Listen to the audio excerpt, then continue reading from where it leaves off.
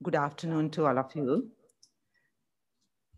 On behalf of the Sri Lanka Medical Association, along with the SLMA Expert Committee on Non-Communicable Diseases, let me welcome all of you to this seminar on food and cancers, truth and myths.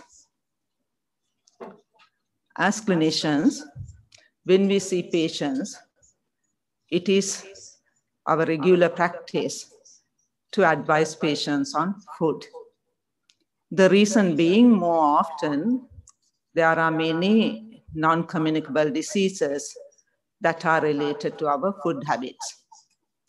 But apparently it appears that there are food that are related to cancers. So maybe that we have to start practicing because cancers being another common non-communicable disease, it appears that we have to start advising them on cancer prevention drugs as well. And also it appears that some of the ingredients of food are carcinogenic. And also it appears that some that we thought as carcinogenic are myths and they are really not carcinogenic. So it's like a jigsaw puzzle. So what we are trying to do is to unravel this jigsaw puzzle and to learn on food and cancers, truth and myths. So to address this important seminar, we have invited two eminent speakers. The food and cancers will be addressed by very distinguished, experienced oncologist, Dr. Jayantha Balawardhana, senior lecturer and senior consultant in oncology and radiotherapy. And also the second speaker, the truth about food and cancers will be addressed by, again, the consultant nutritionist who has been with the SLMA contributing to almost every activity on nutrition organized by the Sri Lanka Medical Association. She's Dr. Renuka Jayatissa. She's a visiting consultant medical nutritionist, National Hospital of Sri Lanka. So with that brief introduction, let me invite Dr. Balawardhana to make his presentation on food and cancers. Dr. Balawardhana, over to you. Good afternoon, everybody. Madam President. Padma Gunaratne, and uh, my colleague, and all the participants who are here physically and uh, virtually. Let me welcome you all at the very outset. And uh, thank you very much for giving this opportunity for me to uh, discuss some facts with you about foods and cancer. This is a very important topic and an interesting topic as well. Now we know about 30% of the human cancers are probably related to food and nutrition. It is not a small amount. And there have been many epidemiological studies which have shown this relationship between food and cancer very, very clearly. So there's no doubt about that. And the strongest evidence emerged in the history uh, soon after the Second World War was over. You know, in Japan, the incidence of colorectal cancer is very low because of their diet, because their, their diet is mainly of raw fish and it's very healthy. At the same time, the diet in the West is very bad, very poor, poor diet. So the incidence of colorectal cancer among Japanese are very low, whereas the incidence of colorectal and breast cancer incidence in among the Westerners were very high. So that has been the standard thing. But after the World War II was over, a lot of Japanese, they were given the opportunity to migrate to the West. And after about a decade, their incidence of breast cancer and colorectal cancer became as bad as that of the Western population. So when they studied the incidence and the reason retrospectively, they found the food to be the culprit. So that was the most strongest bit of evidence available in the history. There are a variety of compounds in the diet that can influence carcinogenesis. Macronutrients, basically your carbohydrates, fats and proteins. Then you have the micronutrients, your vitamins, minerals, and other substances like carotenoids. Then there are food additives, which you add deliberately to food. Then there are naturally occurring vegetables and fruits. Then salt and food preservatives, which added once again, you know, to prepare various food preparations. And finally, salt, uh, sorry, the contaminants. There can be food contaminants, accidental contamination. So all these things would lead to cancers by their own mechanisms. So let us discuss one by one. Now, you know, obesity has become endemic in most of the countries, developed countries, and it is becoming a problem in Sri Lanka as well. That is basically because of high calorie diet, which gives rise to positive energy balance. So energy balance is what you what you what you gain and what you expend. So whenever there is more gain than the expenditure, you have a positive energy balance, which will lead to obesity. So there's a very clear association between obesity and cancer, which is a very well known factor. Now, what are the reasons in obesity which will give rise to cancer? It is multifactorial. Firstly, storage of lipophilic carcinogens. There are certain carcinogens which has the affinity for, lip for adipose tissue, like polycyclic aromatic hydrocarbons. When they get into the body, they will be attached to the adipose tissue and they will retain in the body for a longer period. And they can be distributed in the body through lipoproteins. So that will give a fairly long exposure. Then obesity has an impact on the genomic stability. It can cause DNA damage. You know, obesity can produce free radicals in the body. The free radicals are molecules or atoms which have an unpaired electron. They are electro they are they are chemically very very reactive. So when they react with other molecules like the dna molecules there can be oxidation as well as reduction. Either they will give a give an um, electron to the atom or they will subtract an electron to the atom. So it is either oxidative or reductive. So whichever the way it will disrupt the dna molecule. So this is called the oxidative stress. It is a very important term oxidative stress so that will disrupt your dna molecule you know, the disruption or the alteration of the DNA, molecule is the primary cause of cancer. And it also will cause inflammation. Thirdly, you know, when there's fatty tissue, in the peripheral fat, you have the enzyme aromatase. So aromatase will convert most of the circulating androgens to estradiol. So especially in obese people, obese women mostly, you have a very high circulating level of estrogens. And you know estrogens will definitely affect your breast cancer and endometrial cancer incidence. So that is another reason. So it has been calculated that there can be as much as 10% increase in cancer mortality for every 5, 5 kilogram per square meter increase in body mass index. So this is how the obesity can give rise to cancer. And again, when you look at obesity, that is usually associated with high levels of insulin you have an element of hyperinsulinemia. This will reduce insulin-like growth factor binding proteins, which in turn will increase available insulin-like growth factor 1. We all know insulin-like growth factor 1 enhances cell proliferation and that will inhibit apoptosis. You know, apoptosis is the programmed cell death. Whenever there is inhibition of apoptosis, that will lead to cancer. So this is how high level of insulin can give rise to malignancies. So if you look at the summary, obesity will induce hyperinsulinemia, oxidative stress, inflammation, and they also produce some cytokines. You call them adipocytokines. Now there's one called the leptin, which was first discovered in 1994. These adipocytokines can exert destructive effect on the DNA molecule. So they are circulating. So this is another reason why obesity can give rise to cancer. So all these things will enhance cell proliferation and inhibit apoptosis. And now it, now it has been postulated that this will also enhance the metastatic potential of certain cancers. So by and large, all these factors will increase the cancer incidence.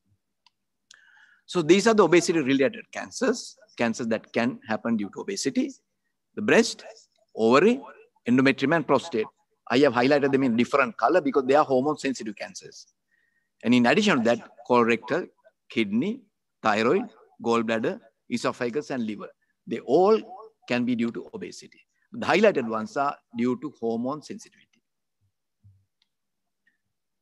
Then again, the high intake of carbs. Obviously, that will lead to obesity. And especially carbs with a very high glycemic index will promote carcinogenesis to, through insulin surge. So basically, they are the refined carbs, which is bad. Then the fats and the cancer. That is the second macromolecule, the fatty uh, food. When I say fat, this is basically animal fat, not vegetable fat. The increased fat consumption can increase the incidence of hormone-dependent cancers, basically breast, ovary, prostate, and the endometrium. And they, it also increases the risk of colon and gallbladder cancer. Now, what will happen is when there's increased fat, fat consumption, that will increase the formation of primary bile acids in the body and which will be converted to secondary bile acids by the gut flora due to fermentation. So these secondary fatty acids are examples are deoxycholic acid, lithocholic acid. They are directly carcinogenic. So that is another reason why fat will give increased incidence of carcinogenesis. But mind you, this is all animal fat. The increased fat consumption, on the other hand, will lead to obesity as well due to high caloric intake. So obesity will again contribute, as we discussed earlier, uh, for carcinogenesis. So we all know calorie restriction has very powerful anti-cancer effect. Then the meat and carcinogenesis, proteins. There are carcinogens in cooked meat which will promote cancer. When I say meat, I'm only talking about red meat, not bird meat. Basically, beef, pork, and lamb. Those are, those are the red meat, varieties of red meat. Chicken is not all that bad. So meat cooking will produce two major carcinogens. During cooking, it can produce polycyclic aromatic hydrocarbons as well as heterocyclic aromatic amines. They are directly carcinogenic. So that is how you get carcinogenesis due to red meat. And again, the method of cooking is also important. Now, there are various methods of cooking. You can fry them, broil them, and barbecue. That is done under intense heat. So this will increase the formation of so-called heterocyclic aromatic amines due to a process called pyrolysis of amino acids. The pyrolysis is thermal disintegration or thermal decomposition of amino acids. So this happens only under high temperatures. So it will produce a lot of byproducts, right? Like quinolines, quinoxalines, carbolines, and PhIP. These ingredients are directly carcinogenic. So that is how the method of cooking also will affect your uh, carcinogenesis process. And again, now there's another issue in most of the countries, repeated use of cooking oil. You know, all the restaurants and fast food uh, outlets, they use cooking oil repeatedly. So this is, in, in, in late term, this is called thermal abuse of oil. Thermal abuse of oil. So this can release, this can release acrolein, which is a very, very potent carcinogen, and also produce free radicals, which again can be carcinogenic. So it is very, very unadvisable to use cooking oil over and over again. Now these products will increase the risk of cancers in the colon, the breast, liver, prostate, and also lymphomas. Then the micronutrients.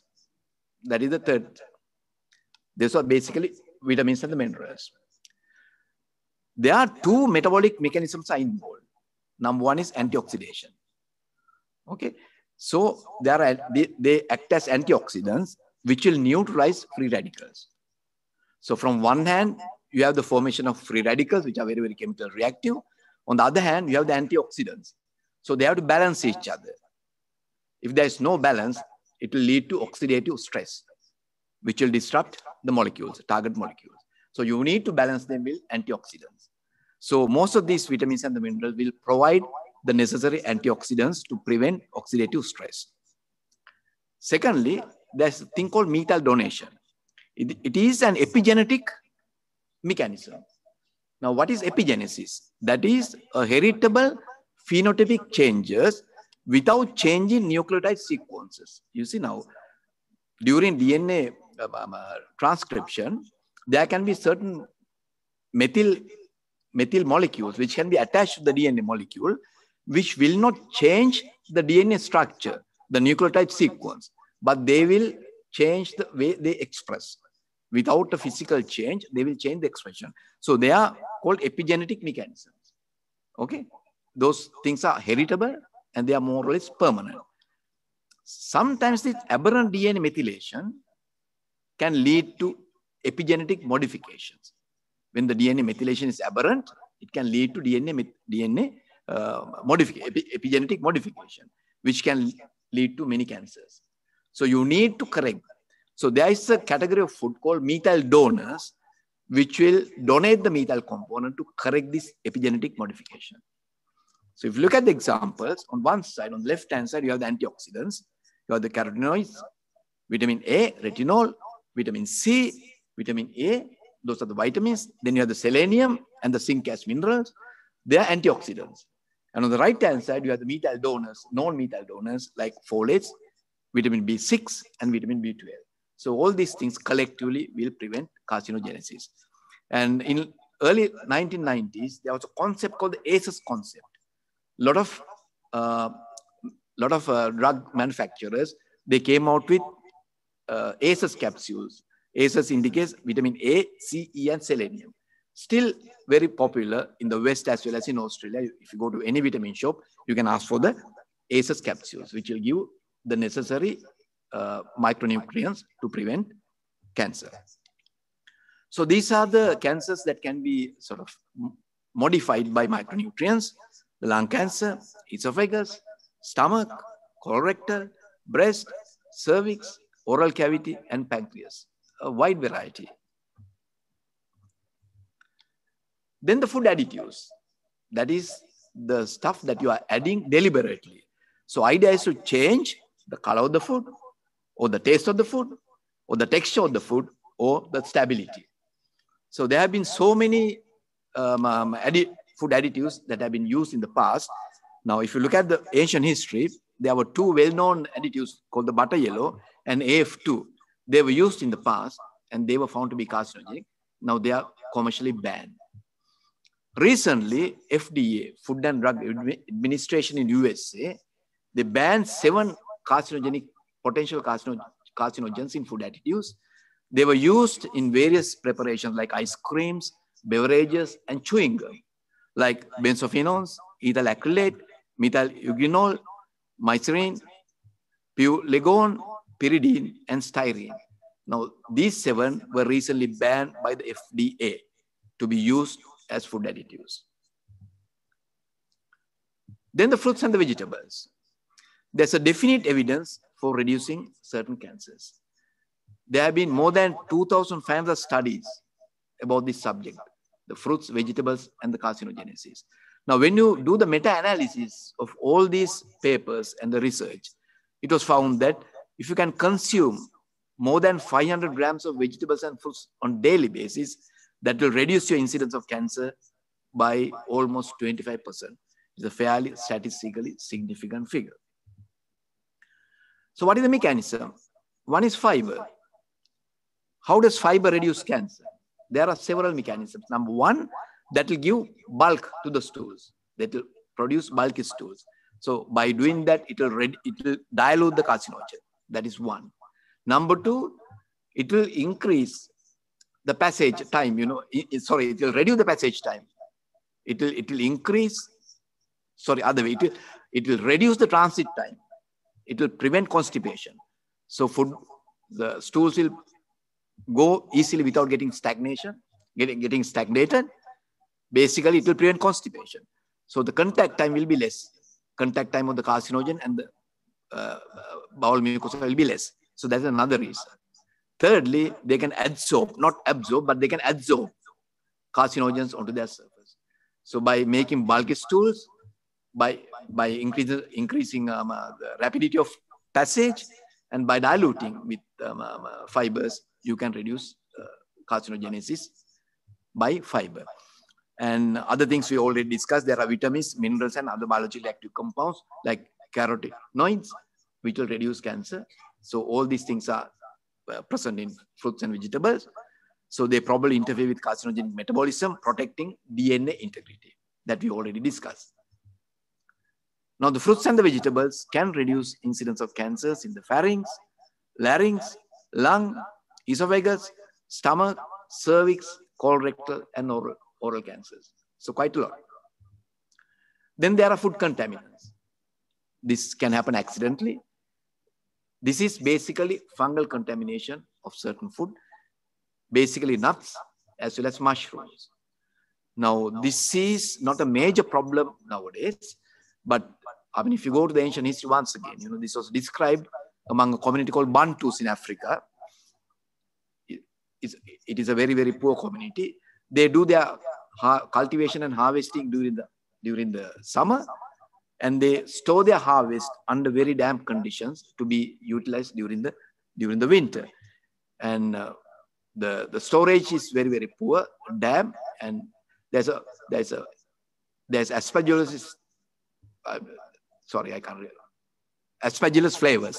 There's a fungus called Aspergillus flavus, which will, which will, which will come and settle down on these damp, uh, damp harvest and produce aflatoxins. And the aflatoxins are very well known to produce liver cancer, right? So that, that, is the, that is the history. But it is not a major contributory factor nowadays. And again, salt and food preservatives you know, consuming salted, smoked, and pickled food can increase the incidence of cancer. Now, they are rich in salt, nitrites, and in nitroso compounds. The classic examples are bacon, salami, and ham. So, I mean, it's okay to consume them once in a while, but not on regular basis. So that can give rise to stomach cancers, definitely. And there's a, there's a fear that it might increase the incidence of colorectal cancer as well. And there's another fascinating thing which is happening in southern China. They are preparing their fish by using special sources. It is only, only um, um, available in southern China. And due to that, they are, they are ending up in having nasopharyngeal carcinomas. It is only limited to that area. So in southern China, the incidence of nasopharyngeal carcinoma is very, very common because of this particular food habit. Then the spicy food. Some concern about gastric cancer. And again, hot beverages. Now they believe when you consume beverages which are more than 65 degrees Celsius, that may increase the risk of esophageal cancer. And alcohol, that will definitely increase oral cancer, pharyngeal, laryngeal, esophagus, liver, breast, and colorectal. Because I mentioned uh, alcohol here because some people take alcohol as their food, you know. So that is the reason that I mentioned that. And alcohol per se will give seven calories per gram. So that will lead to obesity as well. Remember, these are empty calories. These are, these are sort of a slang word used by most of the nutritionists. Empty calories means only calories, nothing else. Now, if you eat a bun, you get calories, you get starch, you get a little bit of fat and proteins and all that stuff. But this alcohol will give only calories. You call them empty calories, right? And then there is a concern nowadays about this ketogenic diet. I just thought of mentioning that as well. When you say ketogenic diet, which is very much more proteins and more in fats, but very few carbs or no carbs at all. So this is called a ketogenic diet. So ketogenic diet will reduce sugar reserves, firstly. Then it will reduce your fat reserves, secondly. So altogether, it will reduce your body weight. So it will reduce obesity. And there will be, after that, there will be ketone bodies producing the body. These ketone bodies will introduce oxidative stress to cancer cells. So stress to the cancer cells is very much more than that for the normal cells. So it has an anti-cancer effect, right? And that will again reduce your insulin level as well. So that will help, as we discussed earlier, when there's low insulin level, that will reduce cancer incidence. So I think I discussed most of the things in nutshell. So I think Dr. Renuka Jayatissa, I mean, she's a legend in nutrition. I'm just a podium as far as the nutrition fact is concerned. So I think I have laid the foundation for Renuka. And Renuka, you can now build the rest of the story. And thank you very much for the attention. Thank you, Dr. Balawardhana. Uh, for the interest of time, we would leave to take up questions last. Uh, the next speaker is, uh, I have already introduced her. She is Dr. Renuka Jayatissa. She is the visiting consultant medical nutritionist, National Hospital of Sri Lanka. And she would be talking to us on the truth about food and cancers. Over to you, Renuka. Yeah. Thank you, President uh, uh, Dr. Padma Gunaratne, President SLMA, and my colleague, Dr. Balawardhan. I think he's a more legend than me about anything. Uh, so all the participants, I think uh, Dr. Balawardhan has mentioned a lot of things. So I thought in the, because he has given you the science and the what's really going on. I thought I will do with what what's happening in Sri Lanka. So how are we going to change our things to hold this cancer epidemic or uh, to reduce it or to keep it static or something. So that's what my main uh, uh, concern in this uh, lecture. So I thought these are the first 10 leading cancers in Sri Lanka. So you can see that breast cancer has become the first leading cancer. So all these 10 cancers, according to our cancer registry, unfortunately, we have only 2014 data. It may have been now changed at the moment, but this is what available. I have picked up from the cancer registry. So the with that, I thought I will take uh, the first one that Dr. Balawardhan has mentioned, the one consistent finding that excess calories from any source leads to the weight gain and which will increase the risk of multiple cancers. So how, what's that happened to Sri Lanka? What are we facing? So with that, I mean, I thought I will just highlight few things in Sri Lanka. This is a scenario of our adolescent and our women in the country. You can see our all the our districts uh, overweight obesity is more than 40% in Uh, except very few districts. And most of the districts, our prevalence are very high. And even adolescent, when you see the trends from 2003 to 2017, how it has gone up. So then you can imagine our overweight and obesity with this weight gain, how much of cancers we have to expect in the future. So this is the Sri Lankan real scenario at the moment. And then the second one, I thought I should really look at what has happened to Sri Lanka. What was, what were we in 1961? And how we are at the moment 20, uh, 2017 was the last data we have available. Uh, so that there is an increase of uh, total calories that uh, we are taking But from the we have the from over these years it has gone up to about 630 kilocalories we are now taking uh, more than 1961 but at the same time our uh, lifestyle has also changed now we are no more active so that we don't need this much of energy we need less energy but at the same time we have a more energy we are getting. So this shows our problem is getting aggravated. So at the same time, when we look at what, how are we really increase these calories from 1961 to 2017? So our contribution mainly came up from the uh, wheat and their products and then the refined sugars. And our rice consumption actually has gone down bit little. But um, because most of the time I know clinicians are really focusing on the rice, rice, rice. I think it is not the rice which has uh, really affected our things. It is a wheat. Wheat and products have come up in the things on top of our rice, as well as a refined sugar uh, one. At the same time, a little bit of alcohol has also, as Dr. Balawardhan mentioned, as little bit of alcohol has also come into the uh, play. So this is the what uh, we, our um, Sri Lanka, what we uh, which has happened to us, and then the so according to that, our main first recommendation: be as lean as possible without becoming underweight. So it is also important not to get underweight, but be lean as much possible. So this is something we have to really kind of to practice. And then the um, second one.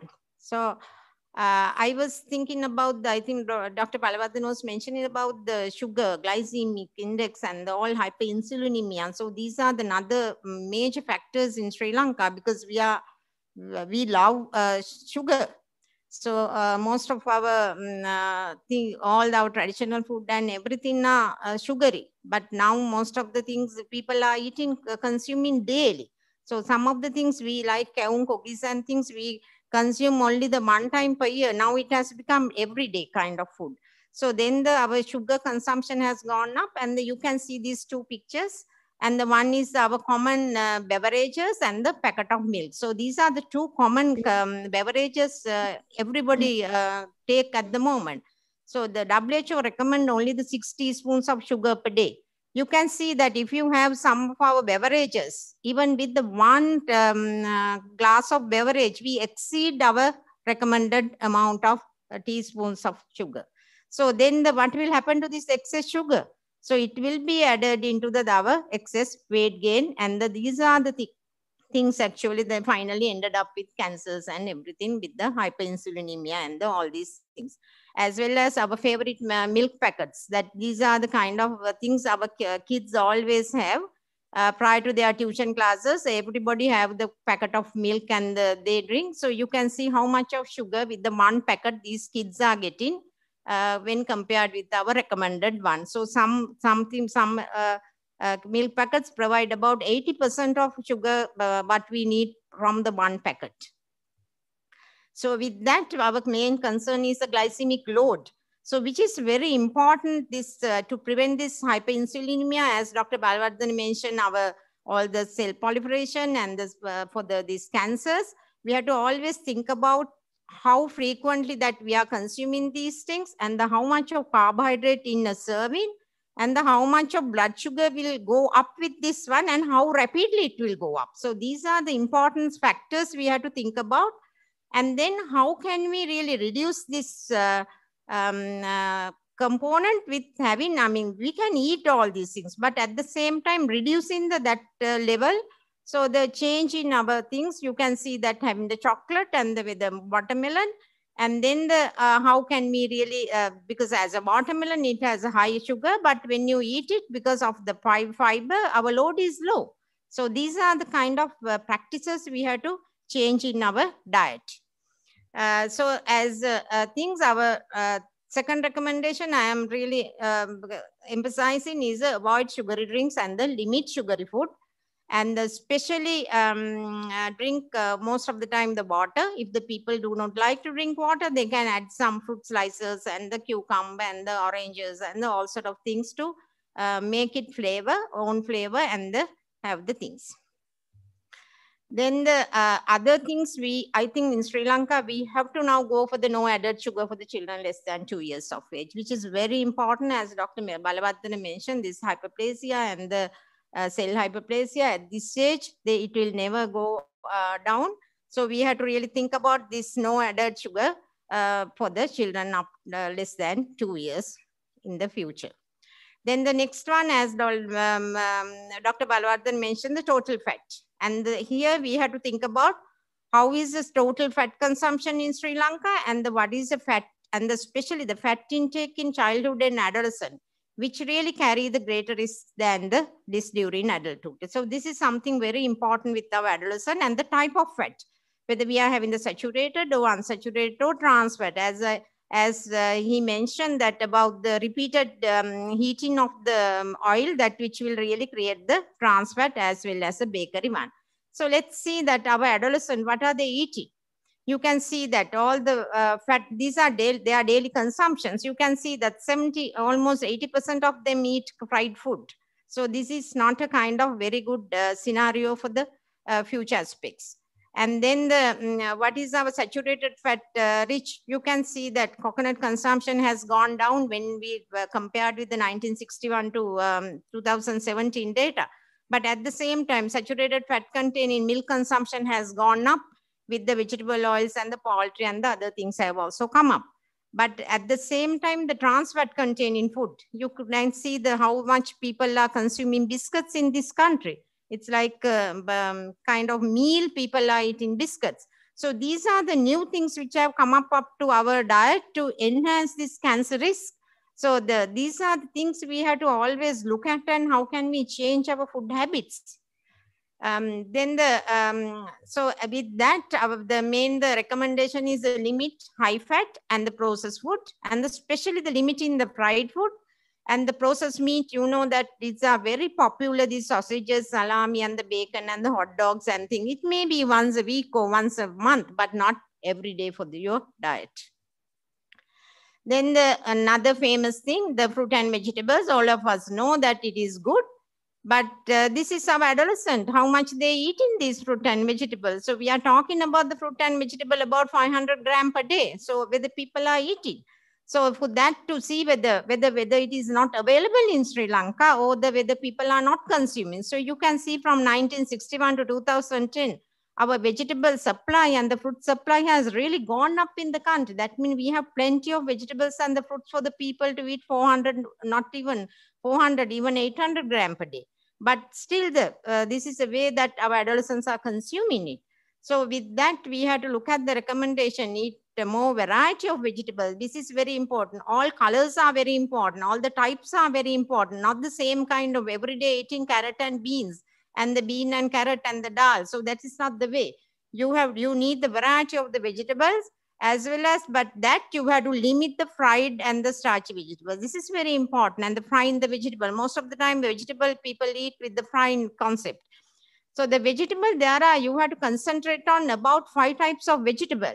One is green leaf vegetable, other one is yellow vegetables, other one is pulses because pulses in Sri Lanka, we eat it as a vegetable and then the starchy vegetable like this kosdel and all these things are starchy vegetables so you those are the other things we have to put it into our um, plate. And the other kind of vegetable like beans and the, all the other vetakolu and all sort of things will come into that.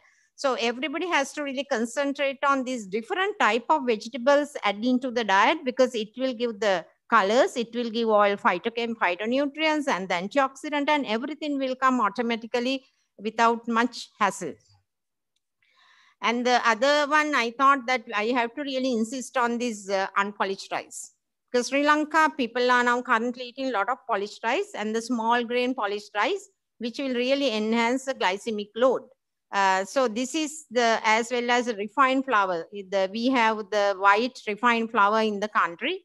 And the now pulses consumption, it's going as only the vegetable uh, concept, but not as a kind of meal concept. So the this we know, um, as uh, Dr. Balawardhan mentioned, especially we had to look at the improve the gut health and the bowel stasis. And the, this constipation has become in a huge problem among uh, kids. So the you can always think about our local remedies like aralupeti and things to uh, once in a way to have a kind of this constipation and the, then the bowel stasis will really go out of window that um, uh, within one day. So these are the other local remedies we have to use in the country. So the next one is, um, as Dr. Balawardhan mentioned, I thought I will really, because uh, we always tell no alcohol, but I know everybody have alcohol. So therefore I thought that at least I should insist on the, the what is the limitation. So at least uh, people who are drinking, they can really limit in that concept. So the, but anyhow, our recommendation is consumed uh, not no alcohol, but at the same time, if they are having that, they have to really uh, fix into the only one drink. One drink is uh, something like beer and the spirits as I think in the slide. And then the diluting it and the, but still the water is the best beverage.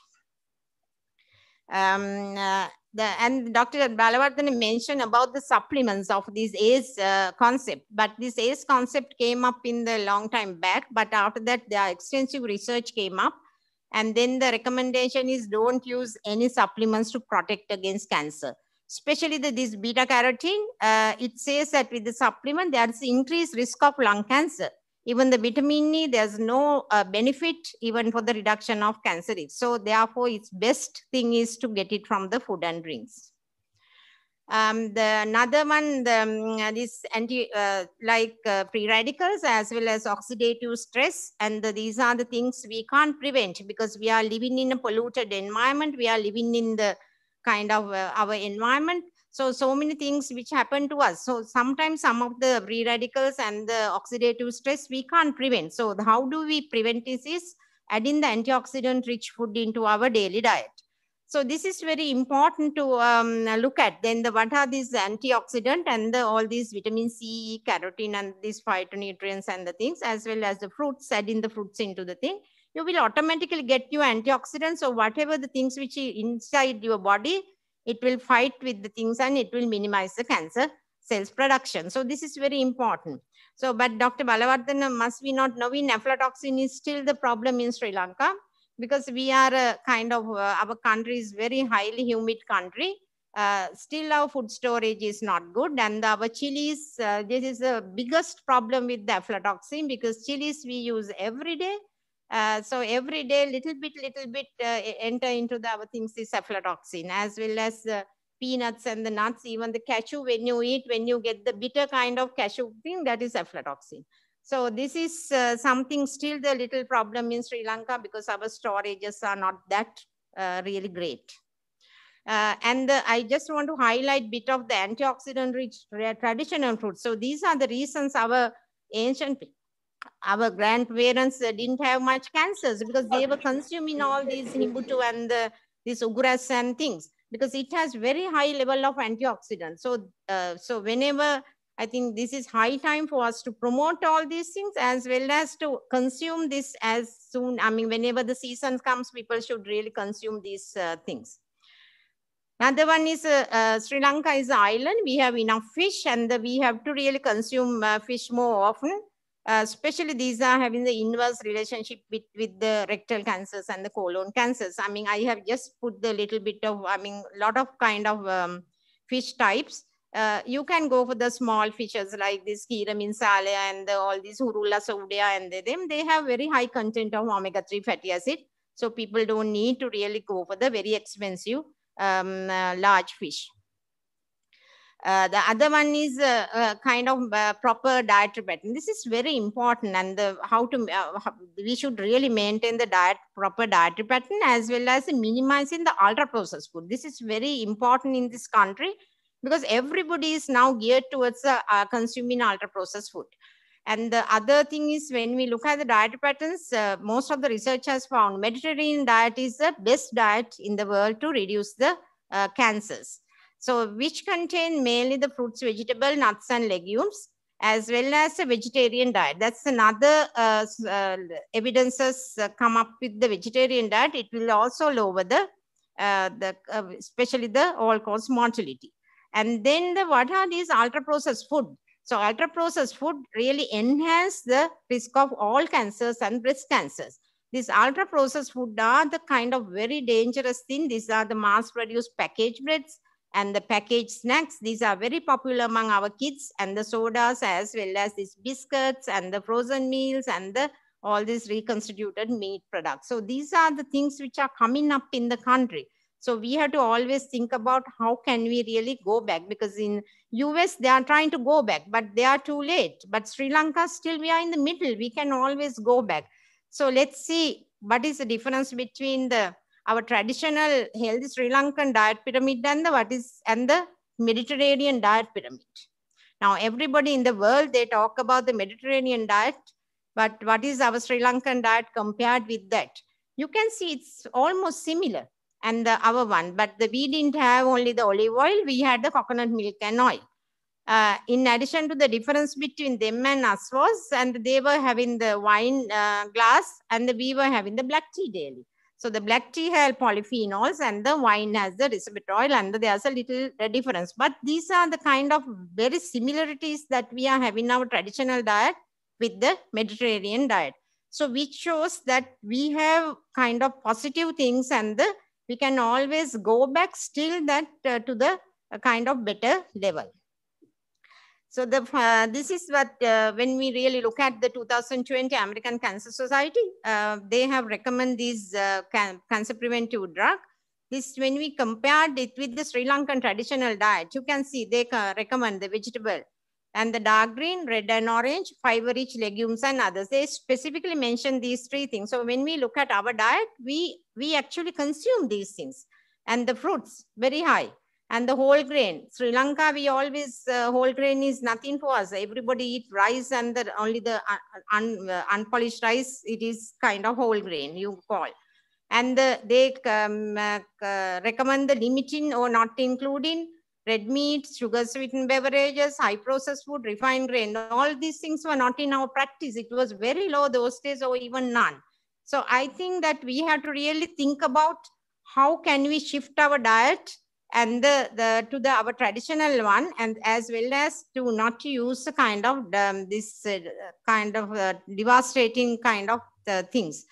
So in summary um, we have to say that many cancers are diet preventable and then the basic lifestyle changes can have tremendous impact on the rates of cancer and sri lankan traditional diet can be modified to prevent cancers and the continuous awareness is needed on truth about cancer prevention diet to minimize myths so with that, uh, thank you very much. So if you have questions, we can really answer.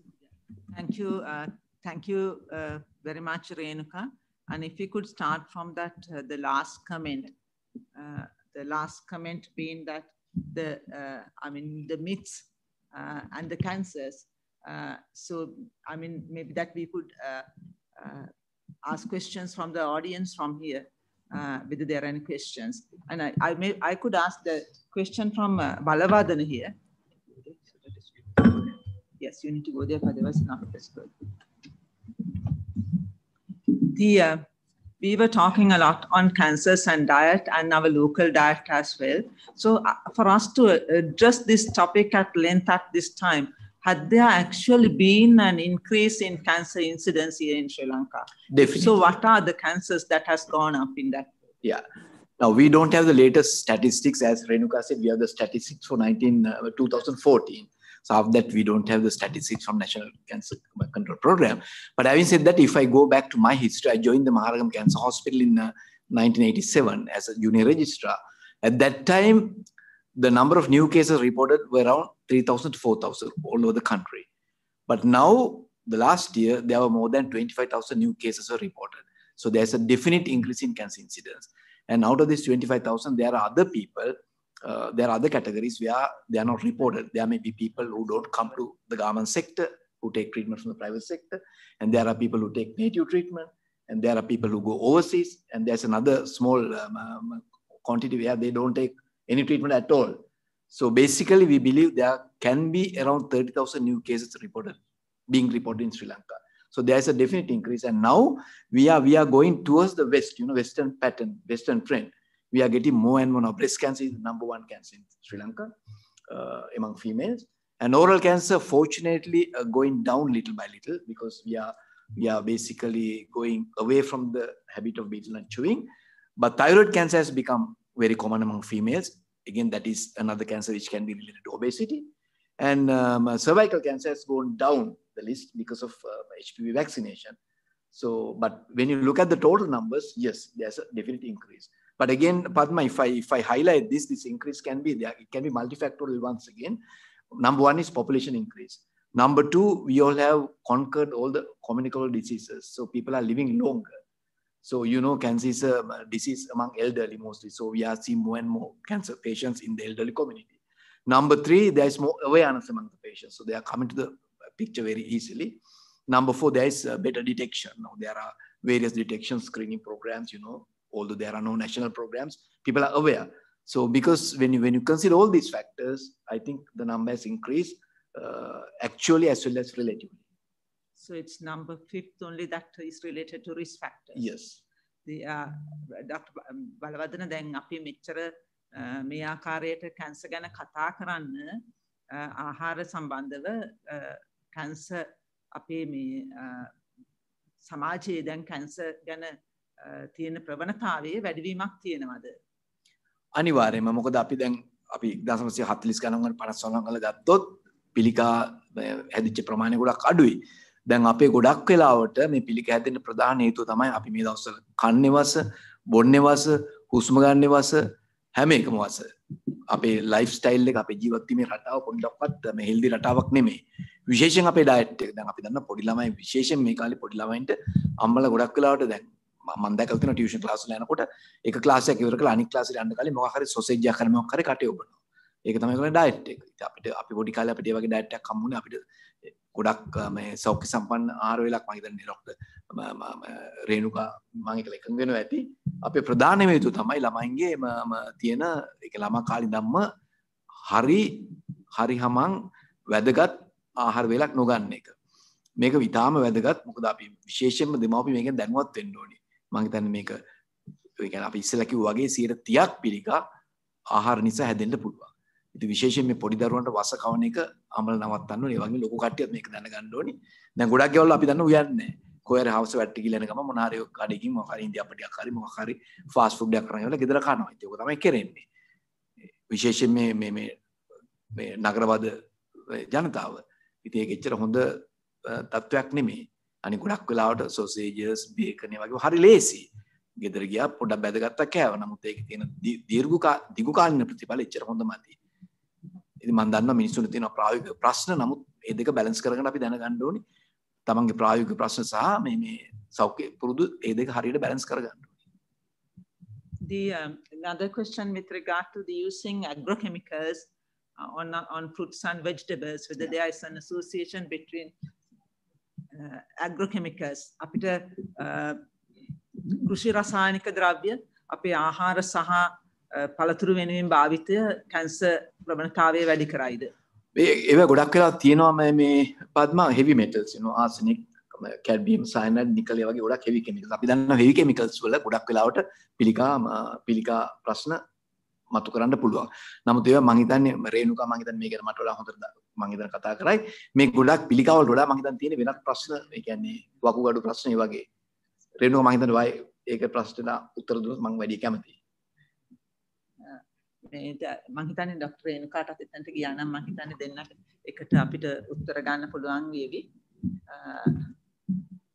අපිට මේ මේ regular uh, said that it's important අපිට මේ පිළිවෙලකට ගාන්ට වෙලාවට ආහාර ගැනීම ගැන සඳහන් කිරීමක් කරා ඒක ප්‍රොටෙක්ටිව් ඉෆෙක්ට් එක සහ ඒකට කැන්සර් සම්බන්ධතාවය ගැන අපි දැන් සමහර වෙලාවට දරුවෝ මේ රෑ 12ටත් කනවා එක එක වෙලාවට කෑම ගන්න පුරුදු වෙලා තියෙනවා. ඒවා සහ පිළිකා අතර සම්බන්ධතාවයක් තියෙනවද කියන එක ගැන මම හිතන්නේ අපි කෑම ගන්නකොට ගන්න ඕනේ තමන්ගේ දිනකට තමන්ගේ අවශ්‍ය ක්‍රියාකාරීත්වයට අවශ්‍ය ප්‍රමාණය තමයි ආහාර ගන්න ඕනේ. දැන් අපි වෙලා තියෙන අපි ගන්නේ ක්‍රියාකාරීත්වයට තමන් ක්‍රියාකාරී කරන ප්‍රමාණයට වැඩිය ආහාර ගන්නවා. ඒක නිසා තමයි අපේ අර මම කිව්වා වගේ 145ක්ම කාන්තාවෝ අද තරබාරුකමින් පෙවෙන්නේ. ඒ වගේම තමයි දරුවන්ගේ තරබාරුතාවයත් ඉක්‍රාම ඉක්මනින් වැඩි වෙමින් පවතින්නේ.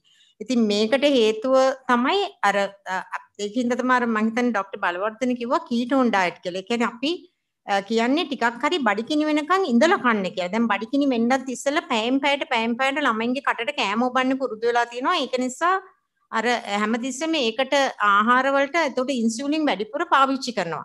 එහෙම වුණාම අපේ ඇඟේ එතකොට අර හයිපර් ඉන්සියුලිනිමියා හින්දාත් මේ කැන්සර් තත්ත්වය වැඩි වෙනවා. ඒ වගේ මේවා දීවැඩියා තත්ත්වයටපත් වෙන්නත් තියෙන හැකියාව වැඩි. ඉතින් මේක නිසා තමයි අර ආහාර වේලවල් කියන එක ඉතාමත්ම වැදගත් වෙන. උදේ ආහාරය, දවල් ආහාරය, රාත්‍රී ආහාරය. ඇත්තටම ආහාර වේල් තුනක් ගත්තාම අපිට ප්‍රමාණවත් වෙනවා. ඒ අතරේ අතරින් පතර ආහාර වේල් වලට අපි පළතුරු පාවිච්චි කරනවා නම් අපිට මේ ප්‍රශ්නේ ඉන්නේ නැහැ. නමුත් දැන් කරන්නේ අපි පළතුරු නෙමෙයි හුඟක් වෙලාවට පිටි ආහාරයක් තමයි අපි අතරින් මේ අපේ ස්නැක්ස් විදිහටත් පාවිච්චි කරන්නේ. මේක නිසා වෙන්නේ අර පිටි ආහාරයත් එක්ක සීනිත් තියෙනවා පිටිත් තියෙන නිසා මේකෙන් එන මේ කැලරි ප්‍රමාණය වැඩිවීමෙන් අපේ බර වැඩිවීම නිකම්ම සිදු වෙනවා. ඉතින් මේ හැම එකක්ම අන්තිමේදී පිළිකා තත්ත්වයට තල්ලු වෙන්න තියෙන හැකියාව වැඩි. ලංකාවේ ඉන්න ප්‍රධානතම පෝෂණ වේදිනියක් විදිහට විශේෂඥ පෝෂණ වේදිනියක් විදිහට ඔබ දන්න ආකාරයට රජය මේ සම්බන්ධව ප්‍රතිපත්තියක් පිළියෙල කිරීම සම්බන්ධව ඔබේ දැනුම කොහොමද? මොන වගේ පියවරවල් විශේෂයෙන්ම දරුවන්ගේ ආහාරය සම්බන්ධව පිරගෙන තියෙනවද? ඇත්තටම සෞඛ්‍ය අමාත්‍යාංශය ගොඩාක් මේ ගැන ප්‍රතිපත්තිමය මේ වැඩසටහන් ක්‍රියාත්මක කරමින් පවතිනවා. විශේෂයෙන් පාසල් වල පාසල් දරුවන්ට මේ වෙන දැනුම් දැනුම භාවිතා කරනවා. අනිත් එක දරුවන්ට කියනවා අවුරුද්ද වෙනකන් ළමයින්ට මේ සීනි දෙන්න එපා. එතකොට තෙල් කෑම පාවිච්චි කරන්න එපා මේ ගැන ගොඩාක් මේ දැනුවත් වැඩසටහන් ක්‍රියාත්මක කරනවා ඊට අමතරව පෝෂණ ඒ කියන්නේ ආහාර ඒකකයේ විසින් අර විශේෂයෙන්ම ඒ ආහාරවලට දාන්න හොඳ නැහැයි කියන ඒ ආහාර වර්ගවලට තියෙන රසායනික ද්‍රව්‍ය කැන්ස් මේ මේ මේ බෑන් කරලා තියෙනවා. ඊටත් අමතරව දිනපතාම ඒ කියන්නේ සාමාන්‍යයෙන් සර්වේලන්ස් එකක් විදිහට ආහාරයේ කොච්චරක් තියෙනවද මේ මේ මොනවාද? ඇග්‍රෝකෙමිකල්ස් කොච්චරක් තියෙනවද කියන එක විශ්ලේෂණය කරනවා. ඇෆ්ලටොක්සින් කොච්චර තියෙනවද කියලා කොයි ආහාරවල කියලා හිටන් බලන කරගෙන තියෙනවා. ඒක ලැබොරටරි එකේ බලනවා. ඉතින් මේ වගේ හුඟා ක්‍රියාදාම කරනවා. හැබැයි ඒ කොච්චර කළත් අපි මහජනයා විදිහට මං හිතන්නේ තමන්ගේ වගකීමක් තමන් මේ පාවිච්චි කරන්න ඕනේ. මොකද ඒ කොච්චර මේව කළත් වැඩක් නැහැ. තමන් තමන්ට අවශ්‍ය ප්‍රමාණයට වැඩි ආහාර ගන්නවා නම් මේ தත්ත්වය හුඟක් වෙලාවට වෙනස් කරගන්න අමාරු වෙනවා. ඒකින්ද මං හිතන්නේ මහජනතාව පිළිබඳ දැනුවත් වෙන එකත් ගොඩක් වැදගත් වෙනවා. තවත් ප්‍රශ්නයක් තියෙනවා පළතුරු ඉදවීමට භාවිතා කරන විශේෂයෙන්ම කෙසෙල් ඉදවීමට භාවිතා කරන රසායනික ද්‍රව්‍ය සෞඛ්‍යයට කෙසේ බලපානද ඒ සම්බන්ධ පිළිකාවල් ඇති කරනවා. සමහර සමහර රසායනික ද්‍රව්‍ය තියෙනවා අපි ඇත්තට මේ ගැන විස්තර හරියටම දන්නේ නැහැ පද්ම. උදාහරණ අපි දන්නවා පළතුරු ඉදවන්න පාවිච්චි කරන කාබයිඩ් කියන රසායනික ද්‍රව්‍යය. ඔව් අජිනමොටෝ ගැන කාබයිඩ් එක්කලා it's not cancerous no carbide carbide වලින් කිසිම මේ ඔය තුනම කාබයිඩ් සහ දැන් ඔය ඔය තුන තමයි ආපු ප්‍රශ්න තුන. එකක් තමයි කාබයිඩ් අපි ඉදවන්න පාවිච්චි කරන දෙවෙනි එක තමයි අජිනමොටෝ MSG මොනෝසෝඩියම් ග්ලූටමේට්. තුන්වෙනි එක තමයි සැකරින්. ඔය තුනම එකක්වත් කාසිනෝජෙනික් නෙමෙයි. ඒක බොහොම පැහැදිලිව ඔප්පු කරලා තියෙනවා. වෙන වෙන ප්‍රශ්න තියෙනවා සෞඛ්‍ය ප්‍රශ්න වගේ. අජිනමොටෝ බෑන් කරලා තියෙනවා. ඉන්දියාවේ සමහර ප්‍රාන්තවල බෑන් කරලා තියෙනවා. ඊට අමතරව US වලත් බෑන් කරලා තියෙනවා. නමුත් ඒ පිළිකා නිසා නෙමෙයි. Ajinomoto is not a carcinogen. MSG is not a carcinogen. It gives a lot of other problems. ඉතින් carbide, saccharin and Ajinomoto they are not carcinogen. මම මෙතෙන් තව එකක් අර කියන්න ඕනේ රේණුකා කියපේට මම පොඩ්ඩක් මේ තව පොඩ්ඩක් මම මේවා කරා අපේ ඊළඟ ප්‍රශ්න තමයි lack of physical exercise. මොකද ඉස්සර වගේ නෙමෙයි ඉස්සර ළමයි ගොඩාක් සෙල්ලම් කරා. දැන් අපි ඉස්සර ඉස්කෝලවල යන්තම් ෆ්‍රී පීරියඩ් තිබ්බට ළමයි බෝලයක් අරන් යනවා පිට්ටනියට. ඉස්සර පිට්ටනවල තිබ්බේ ළමයි පිට්ටන හිටිය ළමයි තනකොළ තිබෙන්නේ දැන් එක පිට්ටනියක ළමයි නේ තනකොළ විතරයි තියෙන්නේ. මොකද කිසිම අවස්ථාවක ළමයි සෙල්ලම් කරන්නේ අන්න ඒක ඉතාම වැදගත්. මොකද ෆිසිකල් ඇක්ටිවිටීස් කියන එක ඉතාම ඉතාම වැදගත් බර කන්ට්‍රෝල් කරගන්න කෑමත් සමානමයි දැන් රේණුකා ගැන එකතු වෙනවා. මම හිතනවා ඒක ගැන රේණුකත් සඳහනක් කරાવી කියලා මොකද විශේෂයෙන්ම ඔය කතාවේදී ඔයා සඳහන් කරා දරුවන් සහ මේ තරුණ මව්වරුන් කියන මේ තරුණ මව්වරුන්ගෙන් අපි ව්‍යායාමවලට වෙන දායකත්වය ගැන සඳහනක් කිරීම අත්‍යවශ්‍යයි කියලා මම හිතනවා. මොකද බොහෝ වෙලාට විවාහරගෙන දරුව හම්බුනාට පස්සේ ඒගොල්ලෝ ඒගොල්ලන්ගේ බර ගැන බොහෝ වෙලාට නොසලකලිමත් වුන නිසා. මම හිතන්නේ හුඟක් වෙලාවට අපේ කාන්තාවන්ගේ බර වැඩි වීම පටන් ගන්න පළවෙනි දරු ප්‍රසූතියෙන් පස්සේ. මොකද පළවෙනි දරු ප්‍රසූතියෙන් පස්සේ අර වැඩි වෙන බර ප්‍රමාණය අඩු කරගන්න පෙළඹෙන්නේ නැහැ. අනික විශේෂයෙන්ම අපේ තියෙනවා සංකල්පයක් කිරි දෙන කාලේ වැඩිපුර කන්න ඕනේ කියලා. දෙන්නෙකුට කන්න ඕනේ. කිරි දෙන්න වැඩිපුර කන්න ඕනේ. එතකොට අර වැඩි වෙච්ච බර වලටත් අමතරව අපි තව ටිකක් වැඩිපුර හැම කිරි දෙන වාරයක් ගානෙම අම්මලා ආහාරයට ගන්න පුරුදු වෙනවා මොනවා හරි කෑමක්. එතෙන්දී හුඟක් වෙලාවට ගන්න කිරි වීදුරුව. ඒ වගේ ඒක නිසා ඒ බර වැඩිවීම තවත් වැඩි වෙන්න පටන් ගන්නවා ඒ තත්වෙන් තමයි අපේ අර කාන්තාවගේ බර වැඩි වෙන එක පටන් ගන්නෙ. ඉතින් හුඟක් වෙලාවට අපි දැක්ලා තියෙනවා දැන් සමහරවිට දරුවා ස්විමින් එකගෙන ගිහිල්ලා දරුවා ස්විමින් යනකම් අම්මා එතන ඉඳගෙන බලාගෙන ඉන්නවා. ඉතින් ඇත්තටම මේ කාලේ පාවිච්චි කරන්න පුළුවන් තමන්ගේ ශාරීරික ශාරීරික ව්‍යායාමයකට. ඒ තමන් ඉඳගෙන ඉන්න කාල සීමාව. අනිත් එක පවුලක් විදිහට අපි ක්‍රියාකාරී දේවල් වලට යොමු වෙනවා නම් ඒක දරුවටත් මේ හොඳ රුකුලක් වෙනවා අනිත් එක ඒක පවුලේ සමගියටත් හොඳ රුකුලක් වෙනවා. ඉතින් මං හිතන්නේ අපි මීට වැඩිය විශේෂයෙන්ම ක්‍රියාකාරීභාවය ගැන වැඩිපුර උනන්දු වෙන්න ඕනේ. දරුවන්ට අපි කියන්නේ දවසකට පැයක්වත් සෙල්ලම් කරන්න ඕනේ. අනික අනි වැඩිහිටියෙක් නම් දවසකට පැය භාගයක්වත් සෙල්ලම් කිරීම ඉතාම සෙල්ලම් නෙමෙයි මොන හරි වැඩක් මේ ඇවිදීම වගේ මොකක් හරි ක්‍රියාකාරීත්වයක යොමු වීම ඉතාමත්ම වැදගත් වෙනවා. ඉතින් මේමත් ඇත්තටම අපේ කැන්සර් වළක්වා ගැනීමේ එක අංගයක් විදිහට අපි සලකනවා. ඔබ සමග ප්‍රශ්න ඩොක්ටර් මේ වෙනකොට අපි දන්නා මත්ස්‍ය ආහාර සඳහා කෝමලින් කියන ද්‍රව්‍ය යොදා ගන්නවා කල් තබා ගැනීම සඳහා. එමගින් මොකක්ද සිදුවෙන්නේ කියලා අපිට පොඩි පැහැදිලි කරලා කැන්සර් එකට බලපානවද කොහොමද කියන එක? ඔව් ෆෝමල්ඩිහයිඩ් කියන එක කැන්සර් එකක් ඒකෙන් පිළිග හැදෙන්න පුළුවන්. මොකද දුම්බැටියක් තියෙනවා ෆෝමලින්. අපිට දුම්මැටිය කරනවා කියලා දුම්මැටියක තියෙනවා මේ මේ මේ රසායනික ද්‍රව්‍ය අපි එක දුම්මැටියක් ගිරුවාම ඒක රසායනික ද්‍රව්‍ය තියෙනවා 2000ක්. ඒ 2000 එක එක පෆ් එකක තියෙනවා රසායනික ද්‍රව්‍ය 2000ක්. ඒ 2000න් 50ක් පමණ කෙලින්ම පිළිකා සාධක. ඒකේ ෆෝමලින් පොඩ්ඩකුත් තියෙනවා. ඒ කියන්නේ සිගරට් හොඳටම බිව්වොත් එම්බම් කරන්න ඕනෙත් නෑ. මේ වෙනකොට ඒ සම්බ මේ මේ වෙනකොට ඒ සම්බන්ධයෙන් කිසිම කෙනෙක් කතා කරන්නේ නැහැ. නෑ මේ මම මේ කියන්නේ මේ පොත්වල තියෙන දේවල් මම සඳහා ගන්න එක ගැන කවුරුත් කතා කරන්නෙම නැහැ. අපි දකිනවා ප්‍රමාණයට වඩා සමහරලාට මත්සාරය වලට ෆෝමලින් යොදා ගන්නවා කල් තබා ගැනීම සඳහා. මේ ප්‍රමාණ්ඩුරා කියලා ගන්න ෆෝමලින් පාවිච්චි කරන්නේ? පාවිච්චි කරනවා. පාවිච්චි කරන්න බෑ. කල්තා ඒකේ ඒකේ නෑ මේ පර්මිසිබල් ලෙවල් එකක්. දැනට ඒක දාන්න බෑ. දැනට පාවිච්චි කරනවා. ඒක ඒක කවුරුත් ආර පනත අනුව අර්ම කරන්නේ නෑ යොදාගෙන ඒක නෑ මේ ලෙවල් එකට වැඩියෙන් දානවා කියන ඒක කිසිම ලෙවල් එකක් නෑ ඒක දාන්න බෑ ඒක තහනම් ද්‍රව්‍යයක් ආහාර මේ වෙනකොට ඒක දැනට තියෙන මේකේ වෙළඳ පොලේ තියෙන සෑම මත්සයක් ගත්තාම වුණත් පරීක්ෂණයක් කරොත් එහෙම බහුතරයක තියෙනවා මේ වෙනකොට ෆෝමින් කියන රසායනික ද්‍රව්‍ය යොදාගෙන එහෙම කමුන් අඩු දාන්න පුළුවන්. කොමන හම්බුරු නඩු දාන්න පුළුවන්. පන්තියට. දැනටත් තියෙන අත්දැකීමක් තියෙන ඒ සම්බන්ධ ඒ වගේ තිබොත් ඒක මේ මේ මේ සෞඛ්‍ය අමාත්‍යාංශය නැත්තම් මේ මේ පාරිභෝගික සේවා මේකට ඉන්ෆෝම් කරන්න පුළුවන්. වෙනත් ප්‍රශ්න තියෙනවද